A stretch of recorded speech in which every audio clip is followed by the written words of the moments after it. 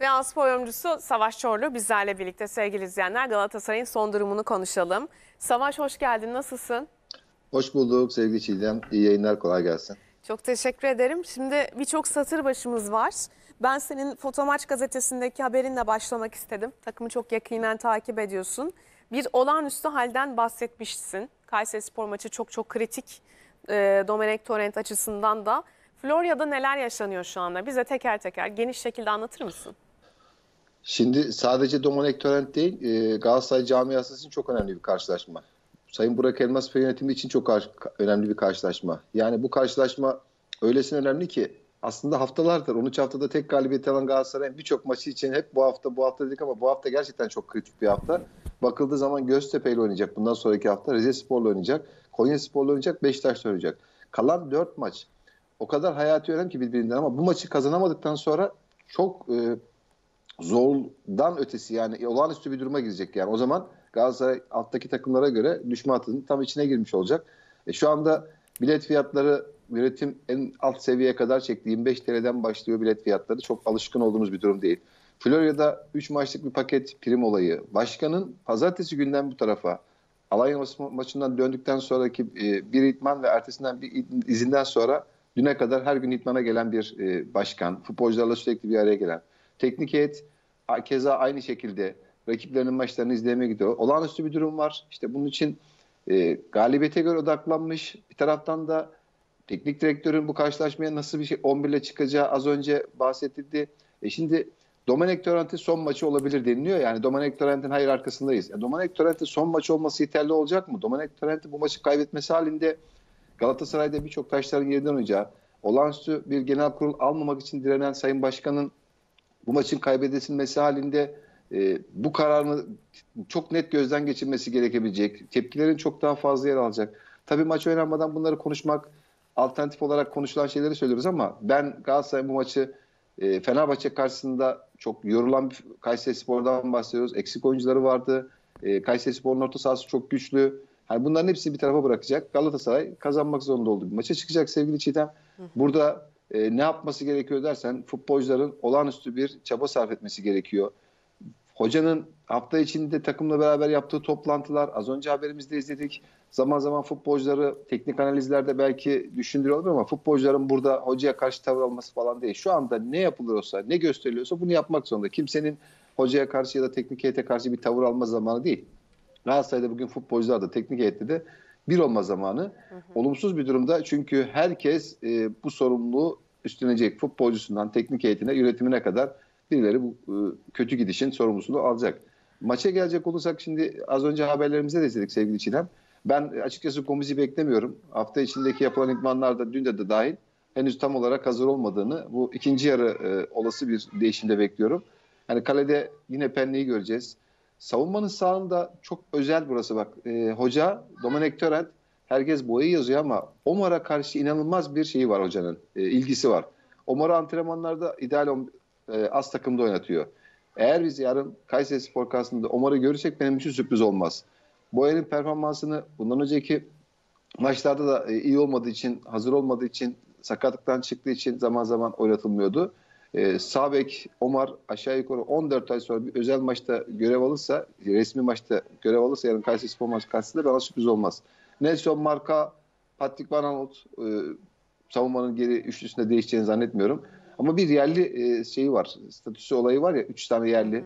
Daha önceki maçlarda burada Fatih'i görüyorduk, İsmail Çipe'yi görüyorduk. Şimdi orada yabancı olduğu için diğer yerliler kim olacak açıkçası düşündürüyor.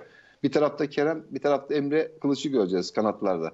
Fakat o orta alanda Pulgar Çıkıldağ'ın yanında Berkan mı, Halil mi? Burada hoca karar veremiyor. Mustafa Muhammed'i 11'de göreceğiz.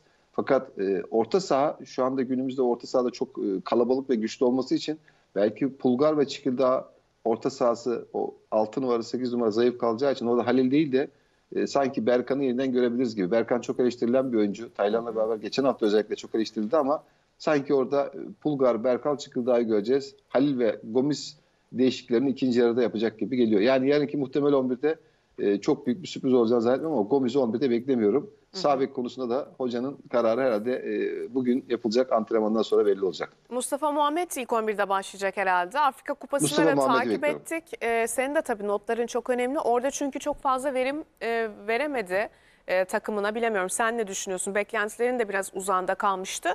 İlk 11'de Kayserispor maçında başarı bekliyor musun?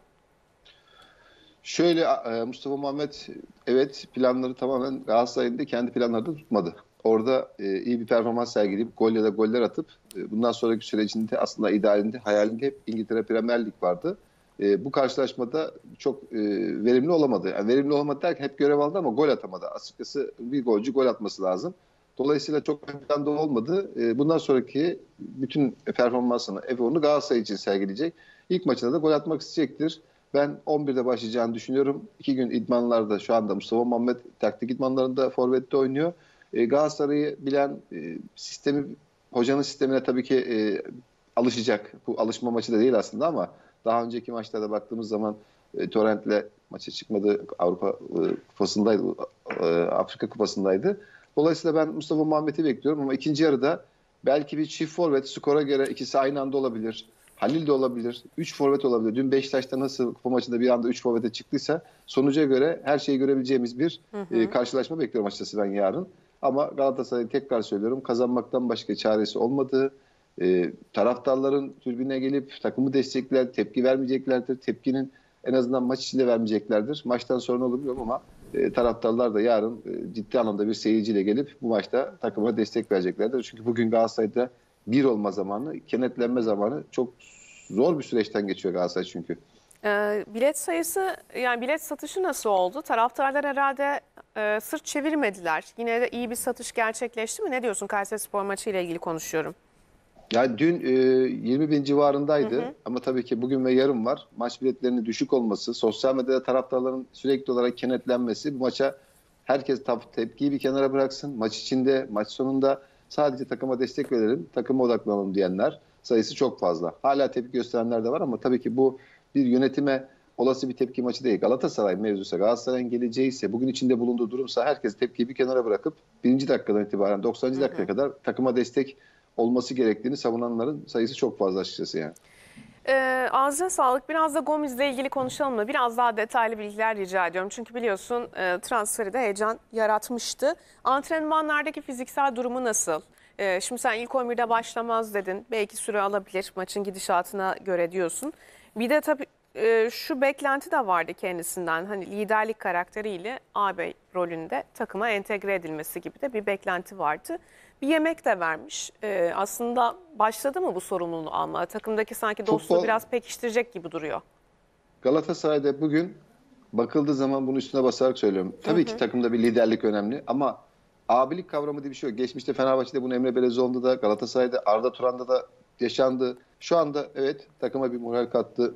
Takım arkadaşlarını yemeğe götürdü. Antrenmandaki performansı bakıldığı zaman iyi ama şu anda Galatasaray'da saha sonucu önemli. Alınabilecek 3 puan o kadar önemli ki her şeyden daha önemli. Gomez'in performansı, saha içindeki performansı, antrenmanlardaki performansı ama hala hazır olmadığını teknik heyeti söyledi ve e, Kayseri Spor maçından sonraki karşılaşmalarda 11'de başlayabilecek. Çünkü Aralık ayından bu tarafa maç oynamıyor. Kolay bir şey değil.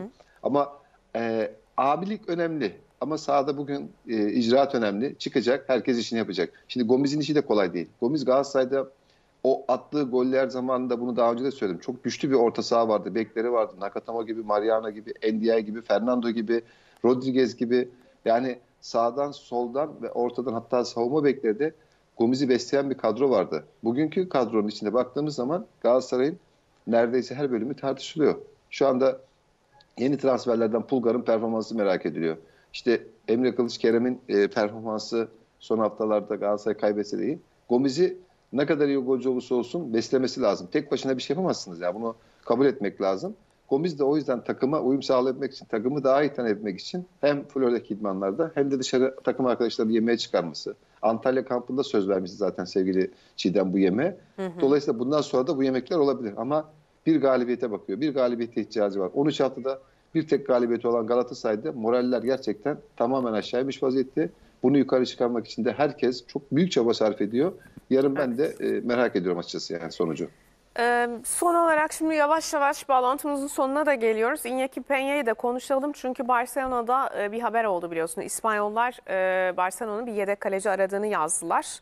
E, oyuncunun da tabii Galatasaray'la alakalı bir takım alış- e, açıklamaları var. Neler yaşanabilir, nasıl değerlendiriyorsun? Galatasaray'da olmaktan mutluyum dedi, alıştım diyor. Daha şimdiden. Yani kısa sürede bir maçta bir e, kısa bir kampta bunu söylemesi çok güzel bir şey. Galatasaray evet bir sevgi ortamı, arkadaşlık çok iyi. Ama şunu kabul etmek lazım ki Barcelona Penel'i devam etmek istiyor.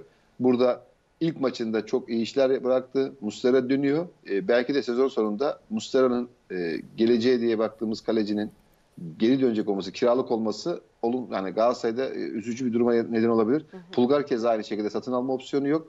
Galatasaray rakipleri gelecek sezon takımını yaparken sizin elinizdeki iki önemli oyuncu kiralık olması ve gidecek olması da şimdiden e, üzebilir ama Galatasaray şu anda ligde kalmak adına her şeyi yaptığı için bunları düşünmek biraz erken.